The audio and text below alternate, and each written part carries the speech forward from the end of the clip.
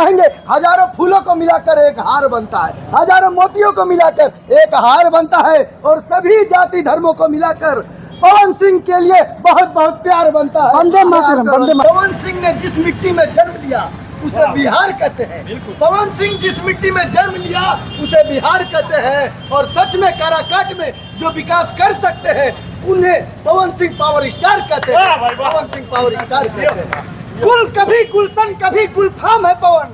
कुल कभी गुलशन कभी गुलफाम है पवन। एक अकेला होकर भी पूरे बिहार वासियों का शान है पवन जान है पवन। और हम लोग पवन सिंह के दीवानगी में आए हुए हैं और दिन दीवानगी में ये वो ये गाएँगे कि पवन सिंह के लोहर बा गाँव गाँव रे। पवन सिंह के लोहर बा गाँव गाँव रे। देख के विरोधी करे गाँव गाँव रे। हाय। पवन सिंह के लोहर बा गाँव गाँव रे।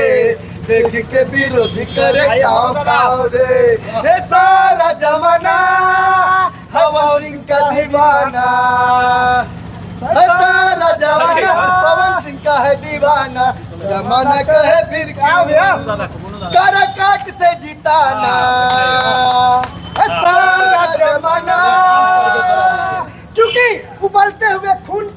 की रवानी है पवन देश के युवाओं की जवानी है पवन।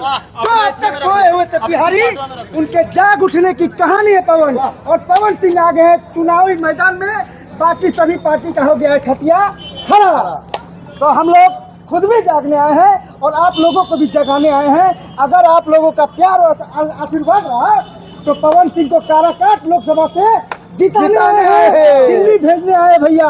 आप लोग का प्यार चाहिए आशीर्वाद चाहिए क्योंकि देशभक्ति किसी, किसी जात पात की मोहताज नहीं होती। देशभक्त एक छोटा बच्चा भी हो सकता है और 80 साल का बूढ़ा भी हो सकता है। देशभक्त होने के लिए हिंदू होना ज़रूरी नहीं है। देशभक्त होने के लिए मुसलमान होना ज़रूरी नहीं है। क्या होना ज़रूरी है? देशभक्त होने के लिए अच्छा लगेगा तो ताली बजाइएगा अरे सच्चा देशभक्त होने के लिए हर सीने के अंदर पवन सिंह जैसा ईमान होना ज़रूरी है। वाह मेरे भाई वाह सिंह भोजपुरी का डंका पूरे दुनिया में बजा चुके हैं। ऐसे भोजपुरी को गायक को दिल से प्रणाम है और उनके लिए हम लोग आ गए हैं चुनावी मैदान में और उनको जिता के ही हम इसलिए कहेंगे हज़ारों फूलों को मिलाकर एक हार बनता है। हज़ारों मोतियों को मिलाकर एक हार बनता है और सभी जाति धर्मों को मिलाकर पवन सिंह के लिए बहुत बहुत प्यार बनता है। वंदे मातरम वंदे मातरम। हाँ एक और। वंदे मातरम गीत के पवन सिंह की जीत के वंदे मातरम गीत के पवन सिंह की जीत के सैनिक सिंह से हम दहाड़ देंगे। झंडे गाड़ देंगे और झंडे गाड़ देंगे और झंडे गाड़ देंगे झंडे गाड़ देंगे। बंदे मातरम गीत के पवन सिंह की जीत के बंदे मातरम गीत के पवन सिंह की जीत के सैनिक सिंह से हम दहाड़ देंगे। और झंडे गाड़ देंगे और झंडे गाड़ देंगे।